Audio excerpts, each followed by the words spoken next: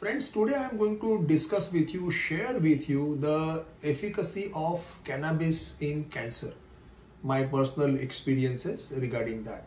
Uh, cannabis sativa in Ayurveda it is called as a Vijaya or in a lo normal local language it is called Bhang. It's a very uh, wonderful uh, e-scheduled uh, drug and it has got number of properties. Various research uh, is being done on the cannabis all over the world uh, not only on the cancer but also on the other diseases like Parkinson's, arthritis, rheumatoid arthritis, etc. Now, as we know, there are special characteristics of the cancer cells. One is uncontrolled growth. Cancer cells, they, you know, they grow by um, uh, no boundaries. They, uncon they, they are not controlled growth. Second thing, these cancer cells, they are immortal. They don't die. Any cell which is taking birth in the body has to die when it becomes non-functional or when it becomes aged. But the cancer cells are immortal. Though they are not functioning well, they are immortal. Yet they are immortal. And third characteristic is the the work they have got a the nature of proliferating and going to other system like bone cancer cells they will travel from bone and they will settle in the lungs and liver and also in the brain or other tissues. Normal cells do not uh, behave in this way. But cancerous cells, they travel from one system to other system and they grow there. Fourth characteristic, they overcome the immunity. They produce such a microenvironment around them that immunity is not able to not able to uh, attack them. They produce such a microenvironment that it, it promotes the growth of the cancer cells. Okay. Then these cancer cells, they have their own metabolic functioning. They they hire the mitochondria and they make in such a way that uh, that, that mitochondria will produce a number of more raw material so that uh, the cancer cells growth continue. And sixth characteristic of the cancer cell is they uh, become resistant to chemotherapy. Okay. So that's why whenever there is a relapse of the cancer, uh, the same line of drug, same line of chemotherapy may not work and it becomes very tedious job, very hectic, very difficult job to find out second chemotherapy which is safe for the uh, use to the patient. Okay.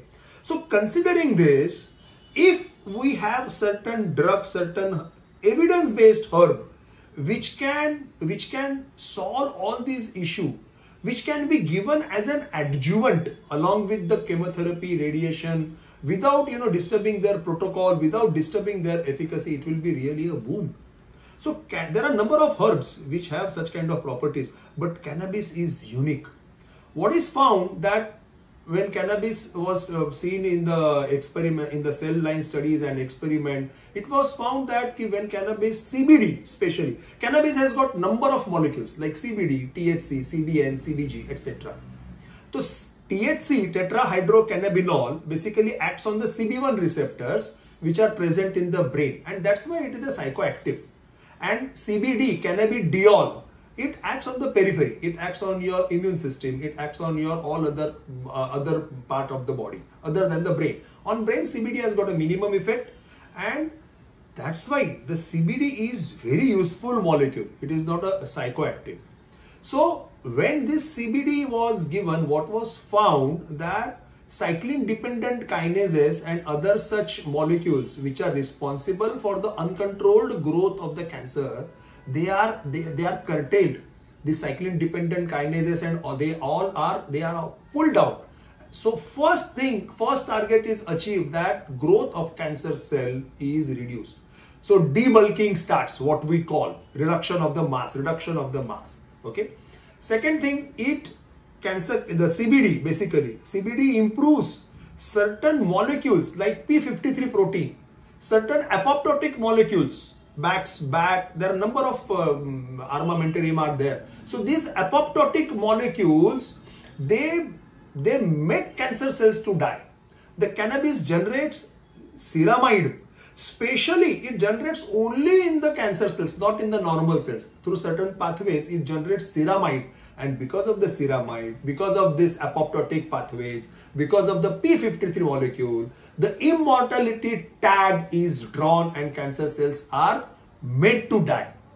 So through through controlling the, some kinases, various kinases, the growth is controlled, the disease is debulked, then the cancer cells are made inactive, they are made to die, they are compelled to die. Okay, so these are the two major things that it is achieved through that. Then cancer cell also act on certain receptors which are used by um, cannabis also, the CBD also act on certain receptors which are used by cancer cells for the proliferation, for the migration. So mTOR is one such receptor. CBD blocks mTOR receptor and because of which the cancer proliferation is affected, uh, affected is arrested. Now the formulation which has got CBD, more CBD and less THC is Solazen which is available in the market and it contains only CBD, 90% it contains CBD, 99% uh, it contains CBD and less than 1% is the THC. So this Solazen which uh, given when I am giving to my number of patients, I have got more than 350 patients, those who are taking this and a number of other non-cancerous patients, those who are taking Solazen for Parkinson and arthritis and other purposes. So the first thing is I have kept the proper data of it and I have I am meticulously non-prejudicedly I am you know using uh, uh, I am observing this patient. So in none of the patient they had any kind of kidney failure, or liver failure or cardiotoxicity I didn't come across. I give this medicine, I discuss with the oncologist, I give it with the proper consent, I give it to them. The, the, the, as, with because of the CBD, because of the solazen, the cancer cells are inactivated. Next day when patient is taking chemotherapy, cells are washed out. Don't give on the day of chemotherapy, give it afterwards. Again, you start it. So likewise, you start giving uh, the CBD dominant uh, solazen preparation. The benefits are my patients they feel less fatigued. My patient they have proper appetite. The marrow suppression you know which causes the low hemoglobin and all low wbc the rate of marrow suppression is much much less in those who are taking it so these are the my experiences that CBD dominant solazen when I am giving to the patient. The overall quality of life is improved. Side effects of this is less. And of course, uh, the long-term survival is more. Of course, it is going to take uh, some longer period to know that how much long-time patient can survive, have a disease-free life.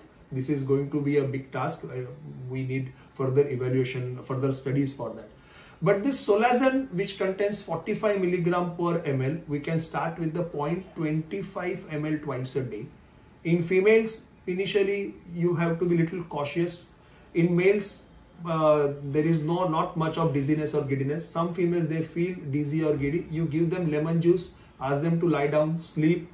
In two to three days of time, the dose is adjusted. Then you can step up the dose to 0.5 ml twice a day. Okay. Like that, slowly, slowly, you can go up to 45 milligram per day. That is 0.5 ml twice a day.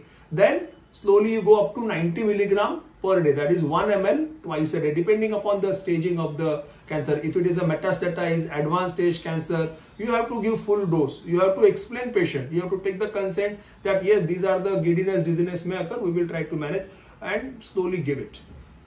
For the optimum result, at least you should give up to 150 milligram. There are trials which suggest that 10 milligram per kg of the CBD is supposed to be the safe, but I have not used, so I will not opine, I will not comment on that. I have used up to 150 to 200 milligram of CBD dominant uh, uh, solazen preparation. So this you can I think uh, uh, use it very uh, safely. Discuss with your oncologist, discuss with your patient properly, explain them and if the oncologist also permits you can use uh, solazen which will make uh, the cancer cells uh, dull which will make cancer cells numb inactivated and the chemotherapy radiation will kill cancer cells so chances of relapse is almost negligible and that's why disease free remission uh, will be uh, the goal which we can achieve as an adjuvant uh, addition of CBD solazen to the cancer protocol. Thank you.